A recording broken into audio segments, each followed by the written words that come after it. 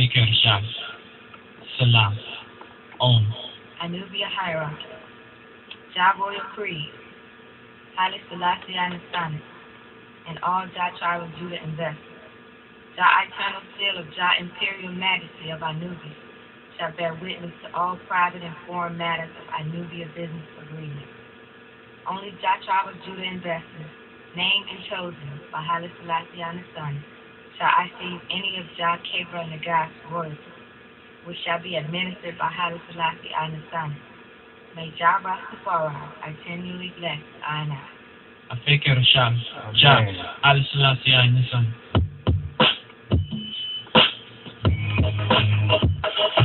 Ja, Rastafari, Selassie, I listen in. Rock is that. You're not worthy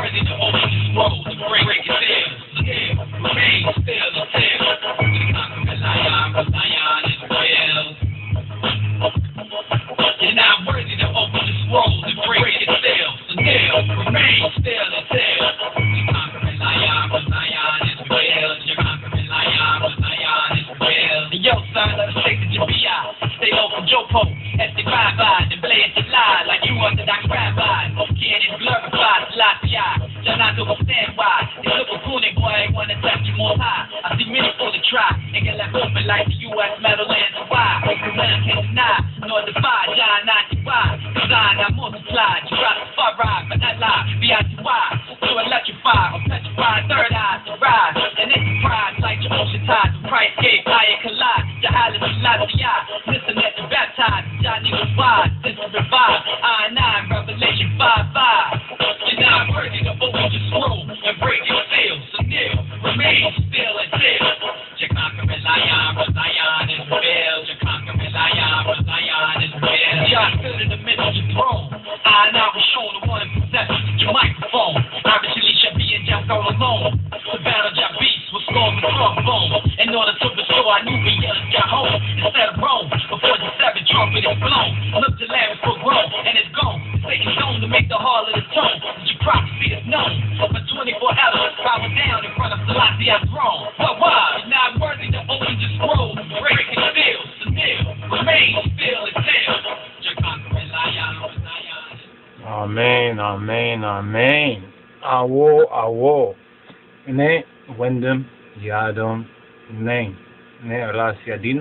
Tessari.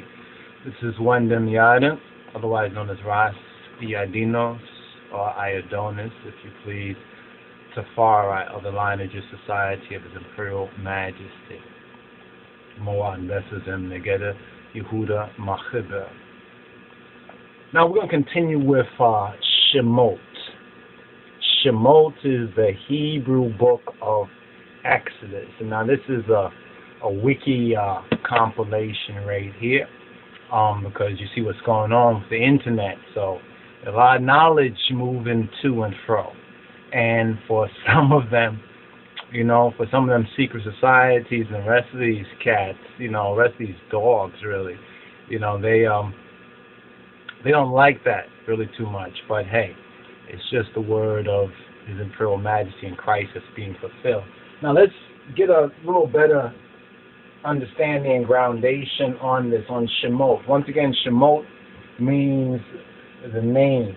In Bamarinya, it's um, Simoch.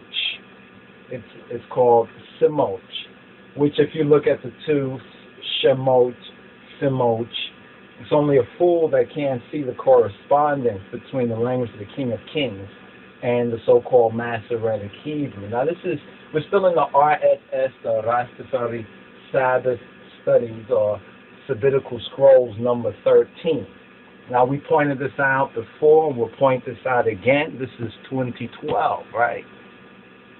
And um, the 13th Sabbath is called Shemot, which this is, which is also a name of the of of this particular um, study scroll and document available at www.lojsociety.org. We think it's a very vital study manual and document, but if one can't afford it, one can still, you know, utilize the internet. But this is good, at least it's in a book, because we can't trust, you know, when the internet will be on or offline.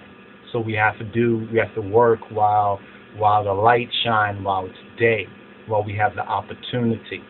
So in this portion on Shemot, we touched on the affliction. You know, the affliction. The first portion of this is dealing with affliction in Egypt. Now, we've also sought to teach on the fact that this is spiritual Egypt. Revelation speaks on spiritual Egypt, and that we are currently in spiritual Egypt. This is a spiritual Egypt. Now, if ones want to get a little more background, like on DC and and America, the Masons, and so forth and so on, please do so. Please do so, because you need to know the truth in order to really have even the opportunity or the potentiality to free oneself. And unfortunately, too many have settled for lower expectations. You know, just just niggers, you know, being niggers. And see, niggers is a name too. The, the, the word nigger and negro, let's deal with the first part of it. Shemot means a name, but names in what, what sense?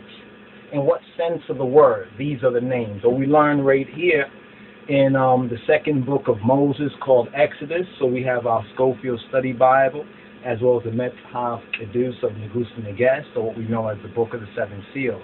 His Majesty's Revised Amharic Bible, which will um, hitherto refer to as the the Rav, the Rav, or the Revised Amharic Bible, the RAB.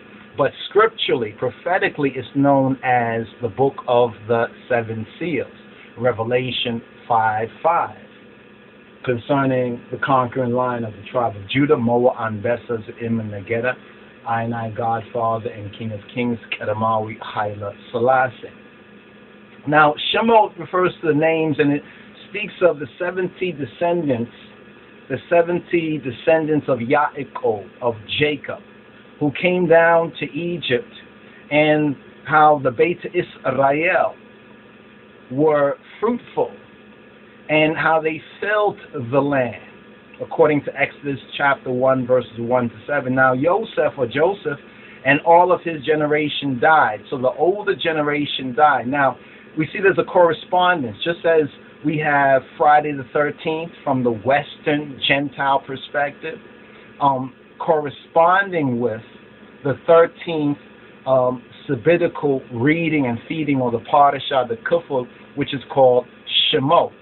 And this is the present Shemot. So the 13 and 13 clash, 2012. Now, we're not going to go into the apotheosis right now and deal with um, the 1,260 days. But for the Decamezamorit, for the disciples, please take down a little footnote right here of the 1,260 days connection, Mayan calendar, December 21st, uh, 2012, and Barack Obama. There's a there's a very interesting and July 11th, I think is 2000 and what was it, 2009, July 11th 2009. A very interesting, significant date.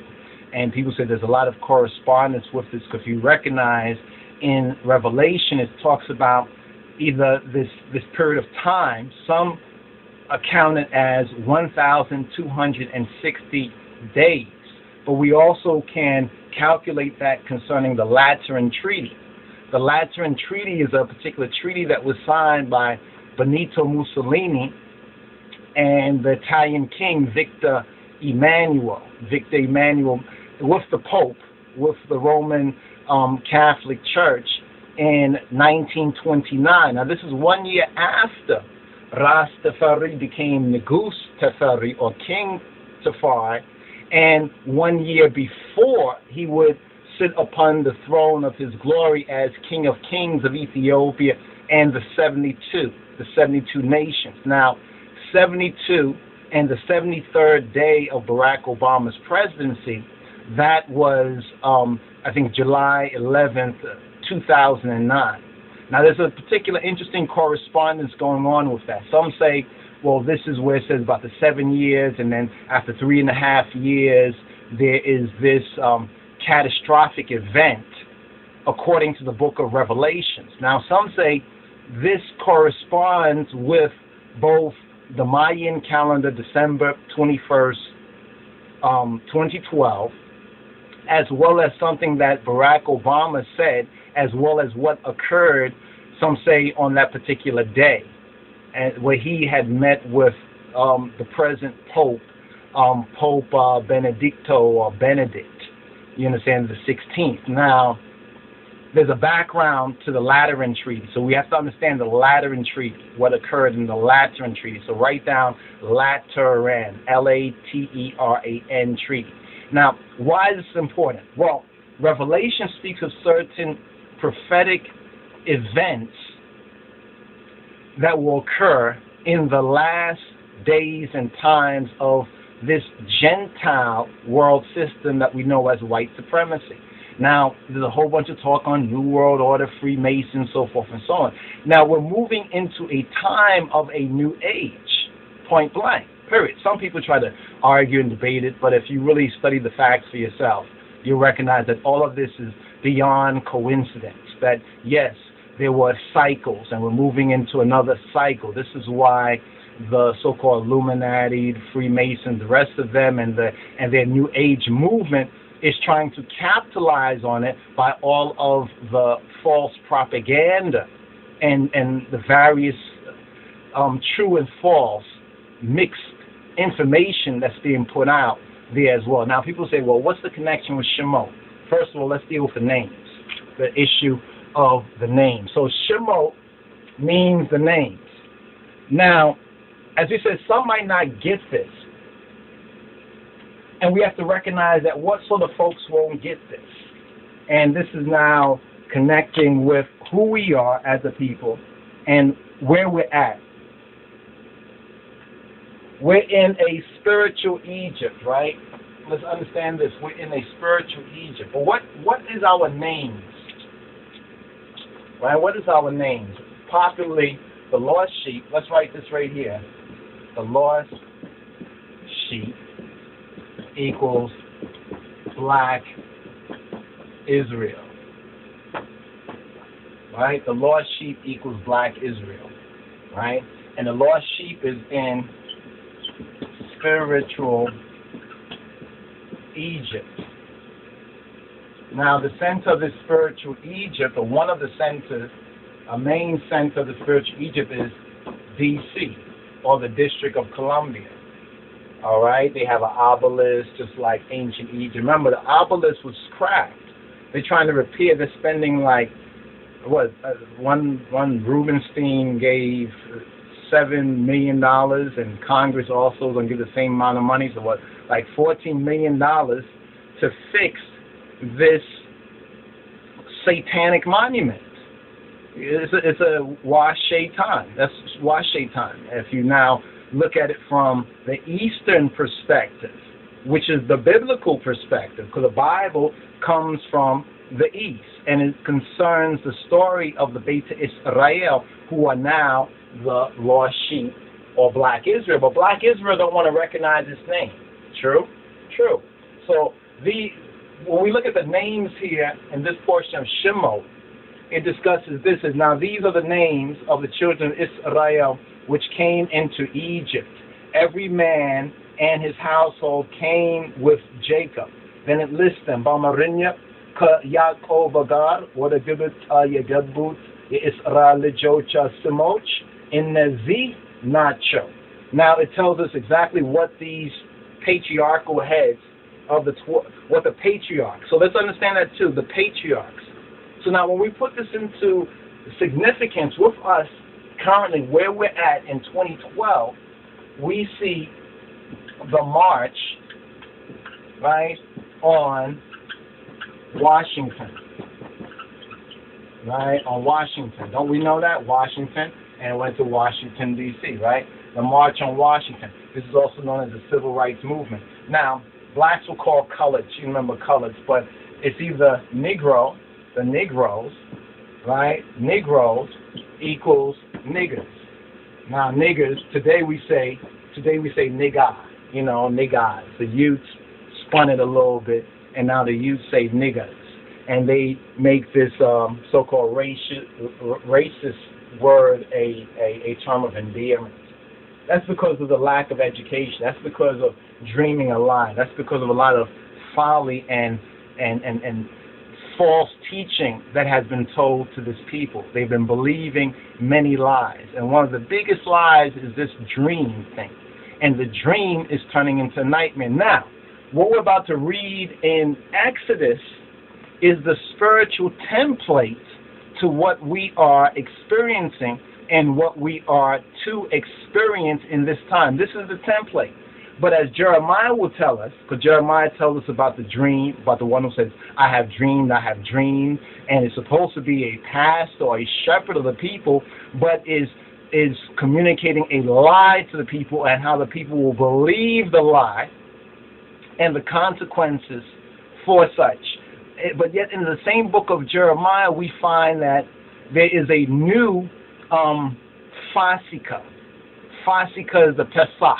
Pesach is the next holy day, major holy day for us as Hebrews or black Hebrews, Ethiopian Hebrews, elect Rastafari is the Passover time, which is known as Fasika.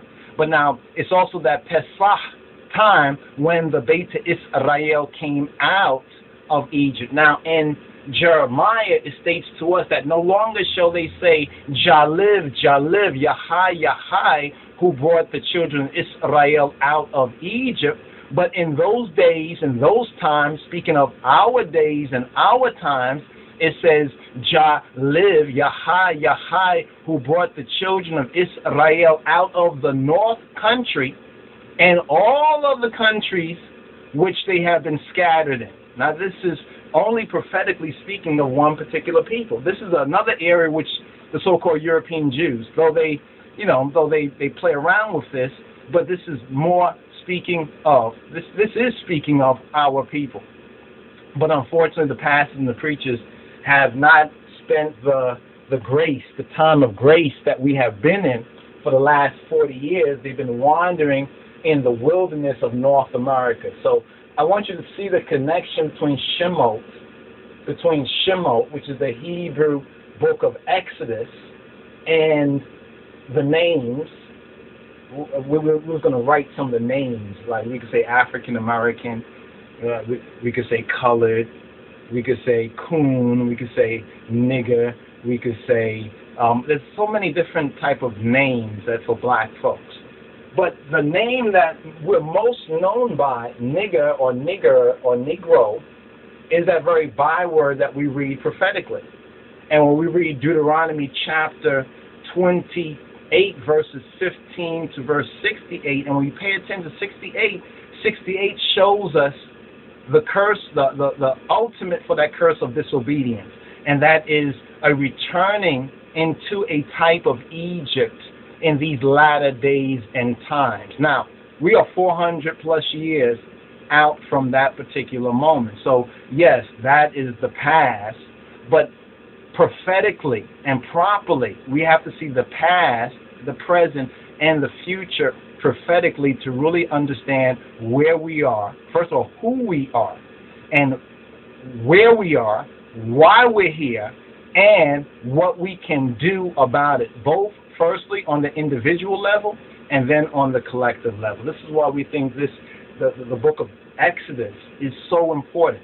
We see that Exodus is really the key to those who will be the survivors, the black or otherwise the terufan, the survivors, and will be able to come out of this spiritual Egypt. Since there's a lot of talk right now about Africa, about um, so-called hip hop and other artists and why black people don't invest, so forth and so on. This is part of, how can we say, this is like a Hail Mary in a sense.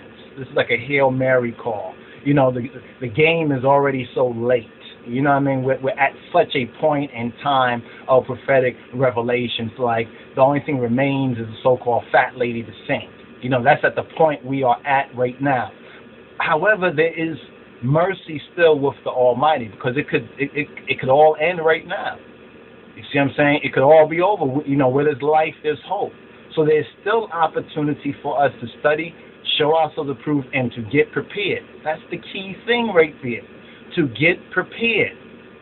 And if one is not prepared, then one won't make it.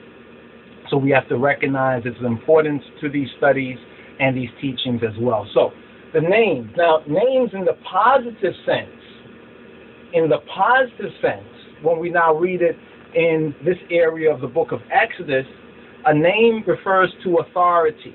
A name refers to character. That's why it says to choose a good name is better than silver and gold. A good name. Uh, uh, rappers and, and hip hop artists and actors and other folks, they change their names. You understand? When they go into show business, they have a show business name. They don't. Most of them don't go out there with their birth name, but they they have another thing that they are called. So this is just to emphasize name and its multiple and, and the full context of how important a name is. It, it is our um, knowledge. We think about this, but we know it. That because many of the niggers and Negroes still hold on to slave masters' name. I mean, I mean, uh, you know, even if they change the first name like a makeup name, you know, like there's a lot of black makeup names, a part of this name and part of that name. Some of you may have these names, so forth and so on, but the name is firstly, foremostly important because the name is authority. Even in Christianity or in the Bible, when it says the name of Christos, the name of the Mashiach, the Moshiach, the name Yehoshua, Yeshua, Jesus Christos, how important that name, that character, even for us as Rastafari, identifying with Rastafari. That is very important. This is why we state, and we'll state it again. Do not abbreviate the glory of that name. You know, people say Rasta, so for and a lot of so-called Rastafari, quote unquote, like to say Rasta like it's a commercial product. Now, if one has a business and is dealing with business interests, you know, we're not you know, we haven't been made a judge over those things. What we're talking about is the glory, the authority, and the character of our Father, of our namesake, and therefore our character. If we do not take His name seriously, then who will take our name seriously? If we do not protect and defend that which belongs to Him, you understand? Who will give us our own? And, and, and what right do we have to, the, to deserve even our own? It's, it's a point of responsibility. And now the connection between these two is first of all, Shemot is dealing with our ancestors, our ancient history. One can say the past. But it's not just history, there is there is science to this. There is gnosis, there is gnosis, there is knowledge to this. And the scripture says that my people perish because of a lack of what? Money? No, because of lack of knowledge. But if they believe that it's all about money, you understand, money is important. Let's not, you know, let's not make a mistake about it. Money within the system of things. You see what I'm saying? But we've got our priorities mixed up. It's like Slick Willie Lynch. It's like how to make a slave. It's said to, to mix up the people you understand, to, to reverse roles and do a lot of confusion. And this is exactly what we are presently dealing with. But here's the good news the good news is that we know these things. So that means there is the opportunity if there be the willingness. That's why the Majesty teaches us to make our wills obedient to good influences. See, so it's a at the heart of it for each of us is a personal thing. You know, beginning off, Keely, what gets started, you have to you have to deal with yourself. You understand? In the light of the gospel, in the light of the word. Because you have to recognize, well, I'm not perfect. I'm not as mature as I should be in these things. I need to be mature. I need to, in other words, biblically speaking, be perfect. How do I go about it? One has to take that responsibility, and that's nothing that we can say that can make somebody believe. This is not make believe. This is that you shall know the truth, and the truth shall set you free. But we say, trust us on what we're saying, but know it for yourself. So, see, if you're watching this and, and you're saying, I don't believe you on that, then why are you wasting your time? You, you're silly, you're stupid. Why are you wasting your time? You understand? If, if, if you're saying whatever we're saying is incorrect, oh, you're just entertaining yourself? No, the joke is on you. You understand? If you are doing that, but the lost sheep equals black Israel. Now we have to qualify Israel because there's a lot of confusion in the world. The Bible even said that, you know, the Jews who call themselves Jews but are not, and then it says that there'll be a next group of people that the Almighty will make the Jews bow down and recognize that that God is in you and I have loved you. So we see that connection in this whole black Jewish thing, the black Jewish thing, you know, that people be talking about a lot. But we're in a spiritual Egypt, not just DC. DC is the point of government. Now we make a connection with DC and Pharaoh, Pharaoh, who's a, a important part of this story. Now, a lot of folks say, we don't know the name of the Pharaoh. How come they didn't tell us the name of the Pharaoh? You know, that, that's a point. You understand? That, that's a point. Um, but how much do you know about ancient writings? You know, how much do you know about ancient writings? Do you know about um, 12th uh, century Egyptian literature? See, I ask that because just like today we use text messaging, we use a certain type of communication today that 20, 30, 40, 50 years ago, folks didn't communicate in this way. The older folks think like the way young folks communicate is kind of retarded, it's kind of very abbreviated. You understand? It's like there's a, a, a consensus that you know what I'm talking about or you don't know what I'm talking about. I don't have time to explain it to you. That's the kind of um, perilous times, last Gentile days that we're living in right now. And the reason I point out the 12th century um, um, literature, there's an article out there, a series of articles. Look it up. It should still be online. Moses and 12th century um, um, literature. Moses or Moses in the 12th century literature.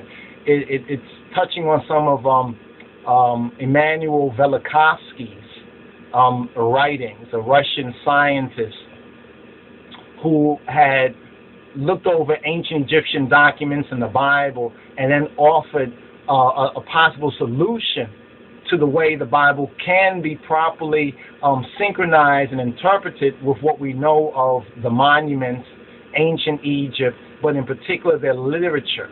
It's like today, a lot of things that we say, we say like in the like the Matrix is so known by everybody. If I quote a line from the Matrix, I don't have to say it was in the Matrix because most folks have seen it.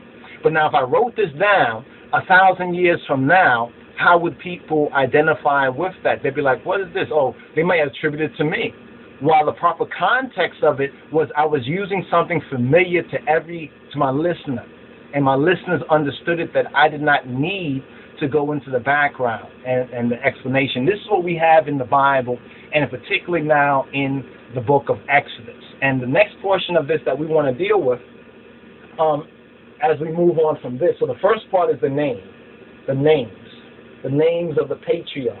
So there was an older generation that went down to Egypt. Just like we have right here, there was an older generation that went on the march on Washington, D.C., the spiritual Egypt. These Negroes, named niggers and Negroes, they went from Negroes and niggers to Afro and African American. Now, some say, well, they went from that to black.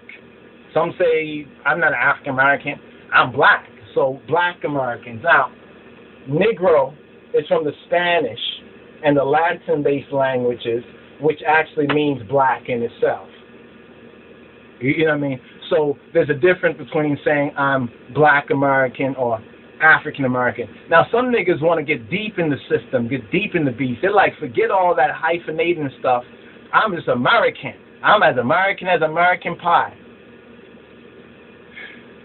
You know, what can we say? We shouldn't even get upset about those things. They basically told us who they are, and they are not of us. They are not for us. They're of a different, of a, of a different um, spirit. They're a different. They could be your fam, but what if they're your family? What if they're your your spouse? Or what if they're your children? What if they're people whom society tells you that you're supposed to do everything for them? First thing, be in the world and not of the world. Because as a Christian, and, and many people say they're Christians, and we, and we Christian. They should be Christian. You understand? But many of the Christians, you understand, they say they're Christian, but according to Christ in the Bible, that most of these Christians don't even look at, Christ says that your enemies will be your, those of your your foes will be those of your household. He said, if you love mother, father, son, daughter more than me, you're not worthy of me. He says other things that seem to say that do do do for them. You understand? Do for them, love them. But when it comes to a conflict of your faith-based principle, and we talk about principles, because some of y'all are are forever learning but not able to come to acknowledgement of the truth. The reason why I say that is because you know we get these communications from folks who say, I, I got a relative that be watching your channel and I want to ask, do you believe this or that? Because this is what this relative says, and I, I have nothing against Selassie or Ethiopia. I, I'm, I'm interested in going, I'm, you know, I like, I don't have a problem. But is this what you believe? Is, is this what you teach? I'm like, no. Where they get that from? And so we get to recognize that some are using this ministry in a sense as an excuse for their extra religious or religiosity. And please don't do that because you're hurting yourself and you're also hurting I and I. You understand? This is when we talk about obedience to the gospel. It's more than just hear, hearing the gospel is the first step. It's an obedience. It says to um, not be conformed to the world, but be transformed by the renewing, by the renewing of our mind. There is a a, a growth that must go on within. One can put on dreadlocks, one can put on a tallit, or wear a meskel or magen david, you know, or or the kaneh-bosm, you know. But what's going on on the inside? You see, and he says, judge a tree by its what? By its fruits. We judge the tree by its fruit. You may say that's an apple tree, but get close, you see oranges. So it looked like maybe an apple, but it's really an orange tree. So you judge the tree by its fruit. And when the Bible speaks that way, it's talking about our attitude, our character. This is all very important, but there's a spiritual process that you cannot run away from because we are in a spiritual Egypt. You see what I'm saying? And there is spiritual warfare, as we mentioned a little bit earlier, and we mentioned this book here. And the interesting thing is, between the spiritual warfare and, and the downpression, you know, certain signs of, of, of haters, you know, haters, elatoch, elatoch, that's the Amharic for enemies. But properly translated, that word means haters, the elatoch. Now, this portion of Exodus, we're going to read about some elatoch. We're going to read about some haters. But there was also a spiritual warfare going on there as well. Remember when Moses went to bring the children of Israel out of Egypt. It wasn't just like doing it just physically. He, he, didn't bring a bag of money, or it, it wasn't. He had to use spiritual. There was he, he used the, um, diplomacy. There was diplomacy that was used. You know, being able to deal, and he had to deal with the people in charge. He didn't say to the people, "Hey, you people, what's wrong with you?" You understand? Because the people were so afflicted that they was ready for something better. Now this is what's interesting because we're in a period right now where people, if you if, if you have your ears on the ground or to the streets like we do, you, you hear you, you hear a lot of the brothers and sisters and the ones and ones out there telling you, yo, things getting hard out here. You know, things getting difficult out there you know, dollars drying up, people wilding out because they don't got money, they can't pay off their house note, their car note. You understand? Um, they're, they're losing their, their their their apartments or houses or and, and losing their jobs. People losing their minds, so forth and so on. And then I began to put it together. Mm-hmm. Then I began to put together this particular Torah portion Friday the 13th, you know what I mean? Friday the 13th, the 13th portion, the book of Exodus, Shemot, Lost Sheep, Black Israel, Spiritual Egypt, the March on Washington, D.C. was when our people, instead of coming out of Babylon, they went down to Egypt to ask Pharaoh, Pharaoh, which would mean the White House. And here's a little bit of historical information. Did you know that in ancient Egypt, their main government um, building, some of the main government building in the translation would have been known as the White Walls. It was called the White Walls. Not White House. It's almost like White Walls in England is Whitehall, so forth and so on. But that, that was known as the White Walls. So this is where Pharaoh represented the government as well as the individual. And here's what's very interesting when you're studying the Bible here. If you really read and you pay attention, you notice that sometimes it seems to have the, the spirit. You see, you have to read it with the spirit. You have to really read it in the spirit. You know, and hopefully you have to ask the Almighty to give you your imagination that, that, that the devil's system and their cartoons and their lies have taken away so you can begin to see it in your mind's eye. You can recognize that some places it's not one individual speaking as Pharaoh. You know what I mean? It's like when Obama says something, he uh, makes some decision. It's not just him sitting down, scratching his head and saying, oh, "I'm gonna do this," because he's not king. He can't do it like that. He has to go through the White House and everything that's connected with it. So the same idea should be borne in mind when we look at this present spiritual Egypt. But now, here's the key. The key here is the first portion of what we find is the affliction in Egypt. I would listen to um, um, Inubia's um, Jah Kebra Nagast, the music that we was playing earlier. Let me show this album, and if you, I don't know what they're doing with their music, if they're still out there, they should still be out there, at least the music out there. Get a copy of this. It's some, you know, Inubia, or Inubia, right? Just try to get a copy of it. Check it out. Um, they said something in the lyric. They said something about affliction for all the for all their addictions or affliction for their addictions. And I picked up on that. I was like, wow. You know, seeing the fact that I was studying here about the affliction in Egypt, the affliction for their what? Addictions. Wow. Remember the Israelites went down there just like the Negro the Negro leaders and the Negro people, they went down to DC Many of them got good government jobs. You know what I mean? And that was the whole thing back in the days. Get a good government job and you be set for life and you can retire early and you can go to Florida and you know that that was the whole narrative of that. But all that's changing now. People talking about well, well we got entitlements because they went down to Egypt like the the children of Israel also went down to Egypt. They were fruitful. They had a lot of children. You know, that's why they tell black folks, black people got too many children. That's what the system is.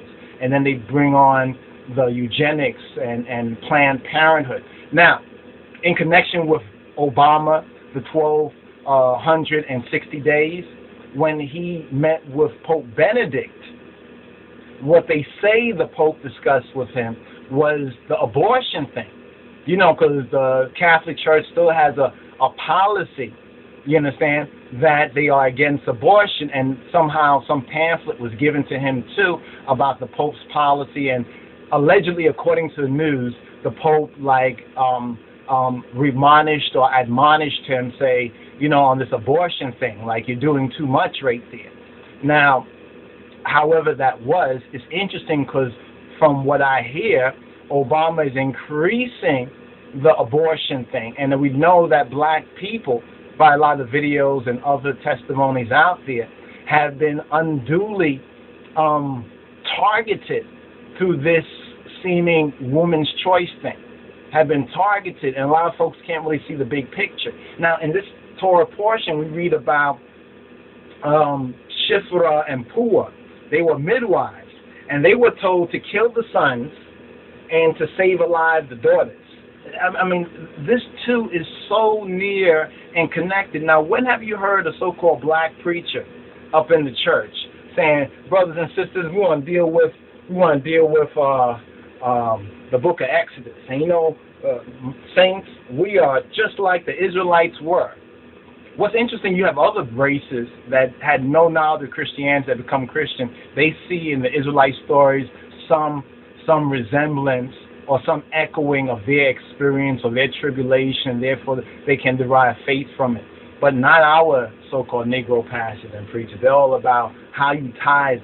You understand how much you do, do you really make that much money? That's all you're gonna get? You know, that that's what they're dealing with on that sort of level. But we should have known about that since the time of Martin Luther um, uh, King Jr. We should know. Yeah, I know I'm saying Lucifer because he was a light, but a light, a, a different sort of light, a very confusing sort of light too. When you listen to that speech, I have a dream speech. Try to connect the two strands. He's saying that we get more money, we'll be able to buy our integration and assimilation with white society. So it shouldn't surprise us now if we see the young girls and, and even some of the young boys too with the blonde wig and the, the blonde in their hair and all this kind of crazy stuff. That's just one overt example. There's a lot of other crazy stuff. And we blame them. We say it's these children, they're only doing what they've seen the generation before do and trying to do it better with what they have to work with. As Brother Saracen said, he said, why don't all these older folks start a corporation and hire the youths? White folks do it, Asians do it, even the Hispanics, man, them do it for their peoples, but not the lost sheep.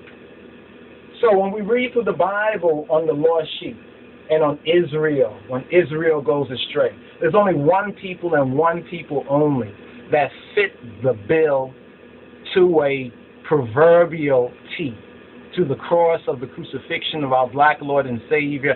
Black folks, niggers, fit the bill. So there's much we can learn from this, both about where we're at, how we got in this, what we can do. See, this is the key.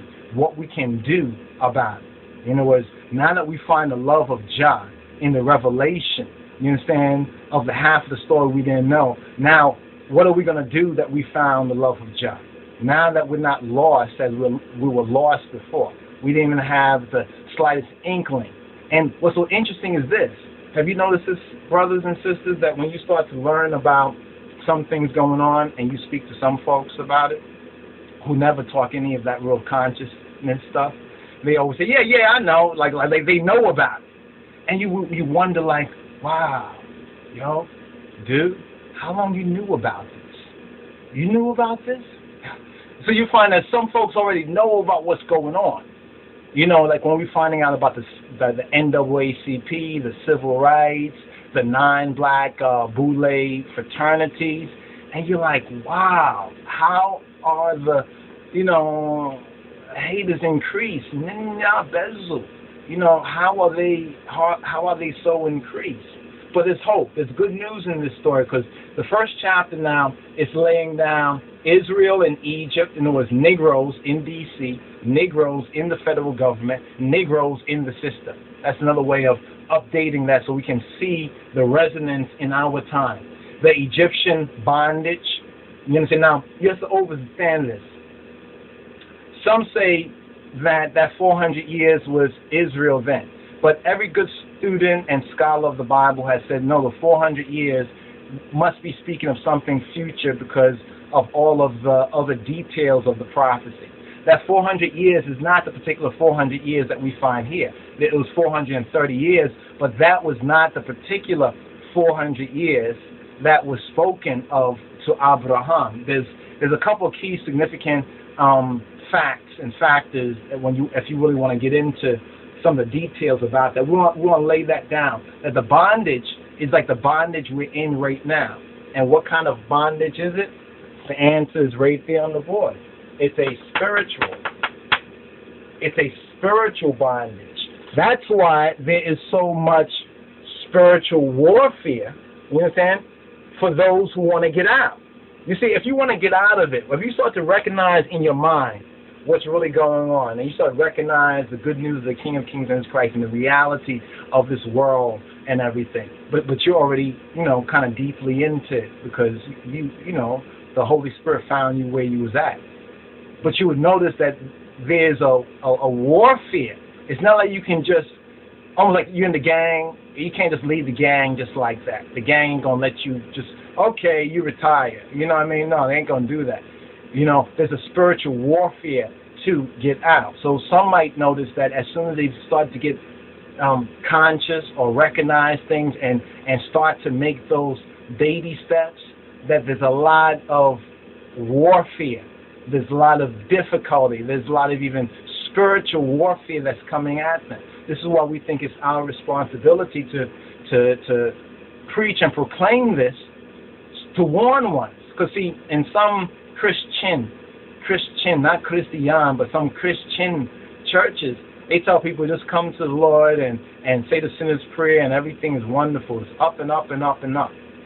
Maybe in, in, in counterfeit Christianity, the grace, the, in pretentious Christianity is like that. But in the sincerity, when you have to face things head on, straight on, as they are, especially for our people, we recognize at a deeper level of knowledge and awareness because we as a people have a deeper history. You know, we have a deeper history than the Gentiles.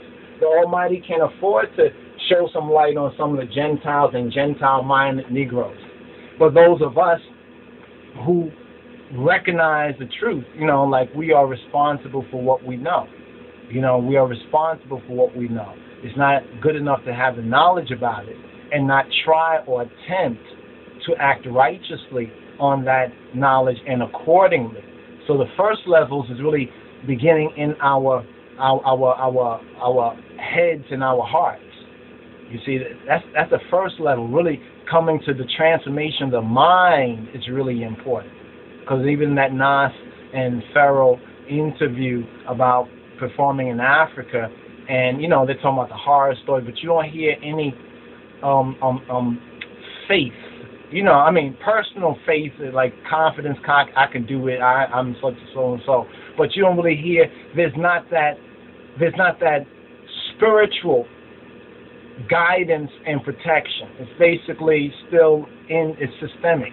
It's still basically in spiritual Egypt, and it's all a part of the march where the Israelites went down to Egypt.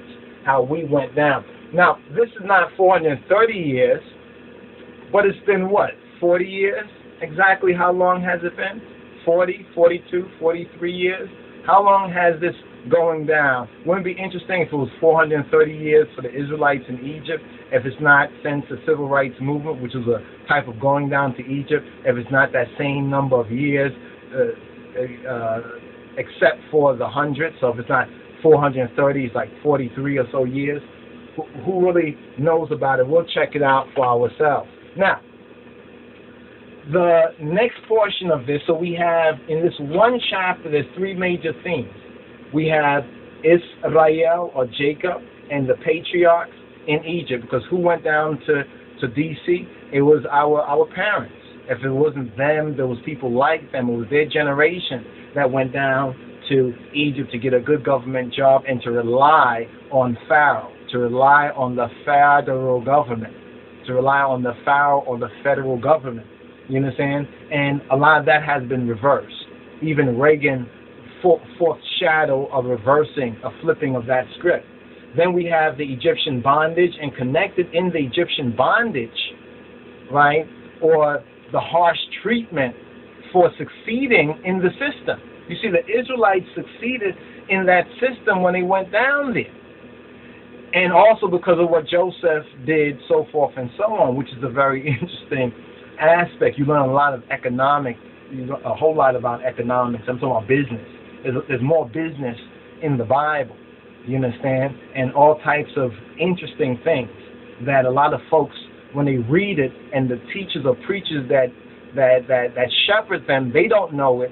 So how can they tell and put their congregation onto? But then the next point about the bondage is the killing of the men, the men and the male children. Now, need we go into the fact that there's been a war against black males or black male, a war on black males in America, whether it's the prison industrial complex, um, whether it's the grave killing them off, whether it's the miseducation or the various other forms of abuse. Now, all these things are systemic.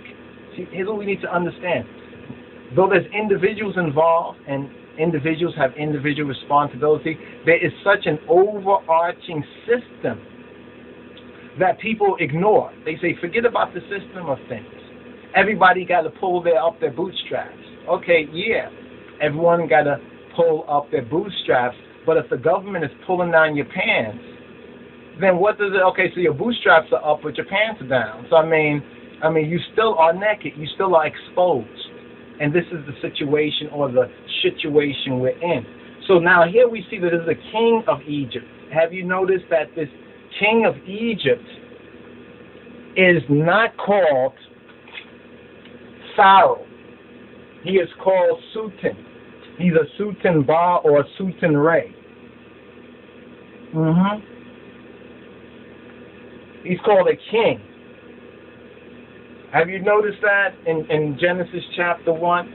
That it continually mentioned the king of Egypt, the king of Egypt, the king of Egypt. Now, these this king of Egypt was uh, Hyksos. This king of Egypt was one of the Edomites. These are the Edomites. This is the interesting thing about this part of the story right here for, for, the, for those who want to understand it historically. Some people say that the Israelites were the Hyksos and the Hyksos were the Israelites. The reason why they confuse the two groups so much is because remember that we have Jacob and we have Esau. Now, if you read in the Bible, the Bible says that the that the Edomites had had had had duped them, duped them like they were dukes before the Israelites, and they had kingship. They had they had monarchical order before the children of Israel had their first king. And the first king of the Beit Israel was Shaul or Saul. Saul was the first king of, of Israel. Now, the Edomites and the Hyksos, and even to a degree the Amalekites, they, they, they, they are confederate peoples. So now what we have in Genesis, you understand, with these two brothers. Now notice what we have here. We have two brothers. Two brothers who, according to the scripture, have the same physical father and physical mother. But these two brothers are as different in a sense as day and night these two brothers, the Edomites and the Israelites. Now, many blame the Israelites, I mean, blame blame the the Egyptians, because says, and the Egyptians made the children of Israel to serve with rigor, because the Edomites were able to successfully, you understand, interpose their will and to make alliances with certain Egyptians, pointing out their brothers as the enemy in order to gain favor themselves in the civilization, as it were. I mean, we can look at this even today. Some of this we see in certain interesting ways among black folks or even blacks and Latinos, we, and among different types of Hispanics and each other, where we will say they're all Hispanic, but amongst themselves they have differences. Others will say we're all black, but among each other there's some differences. And sometimes it comes down to these people coming out of the same family. This is what makes it interesting and also opens us up to really see the, the clearer context of it. So when we're looking at the scripture, we're seeing reality, no fantasy. So we can recognize that even in Africa or Europe, Europe had the same thing, in Asia it's the same way.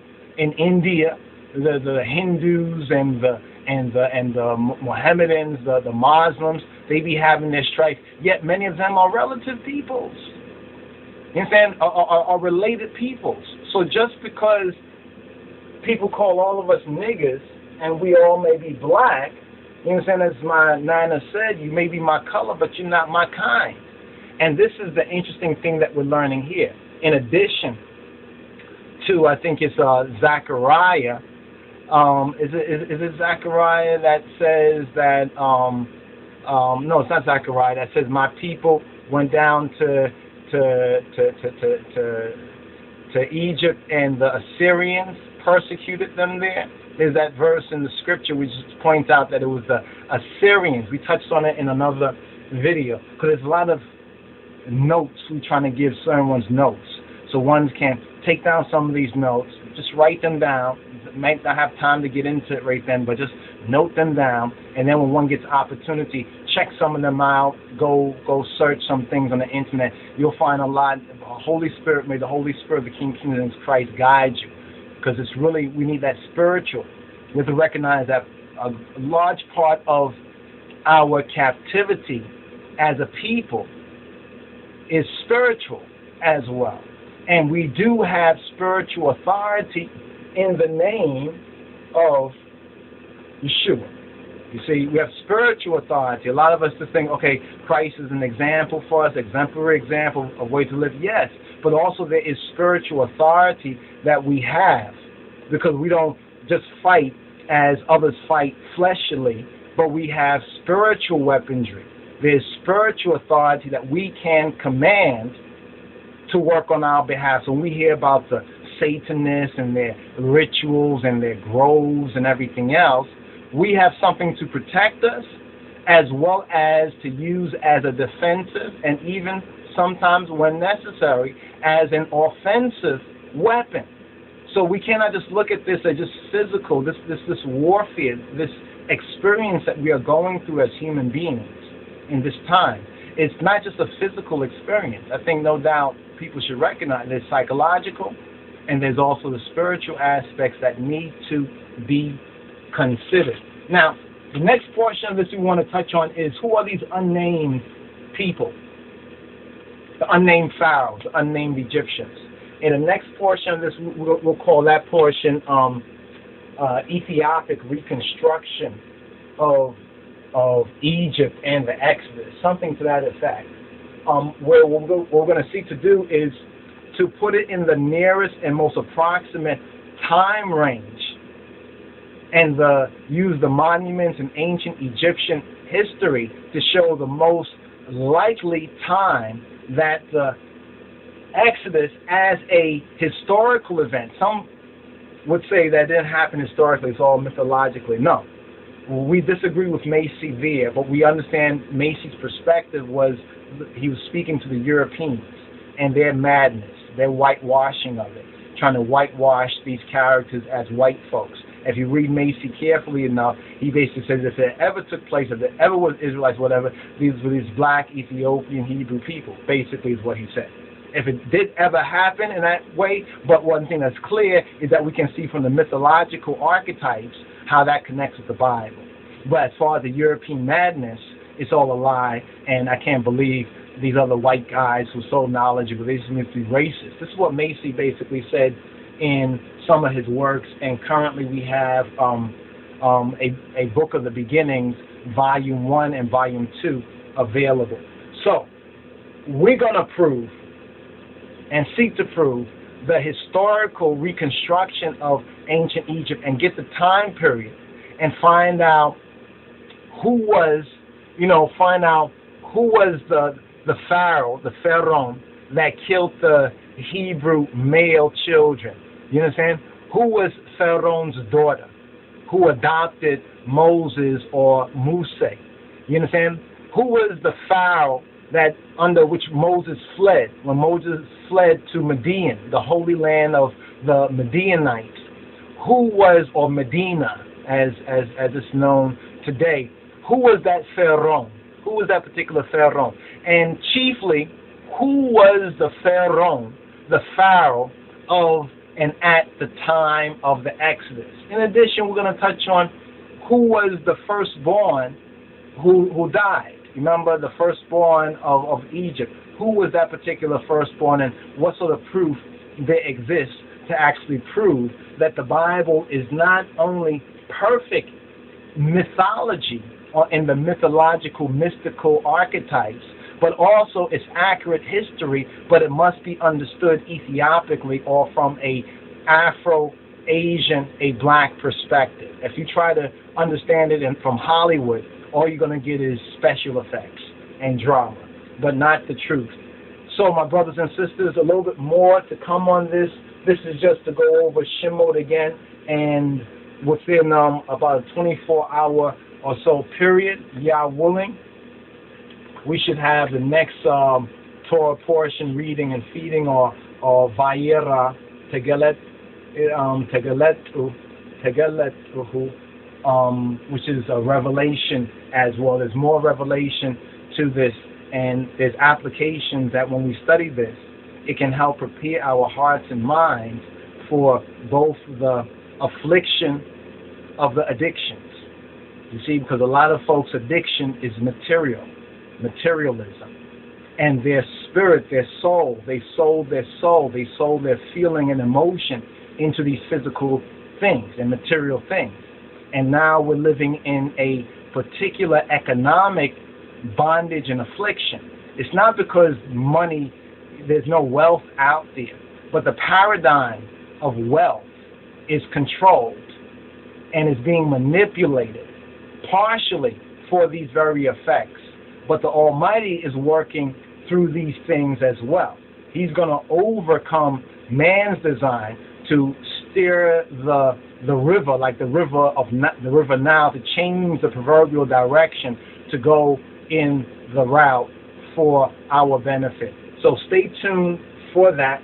That is coming up. Um, hopefully shortly, my brothers and sisters. So until then, Shalom, Rastafari, and we love the brotherhood. Love Jah and love and honor and honor the brotherhood. Shalom.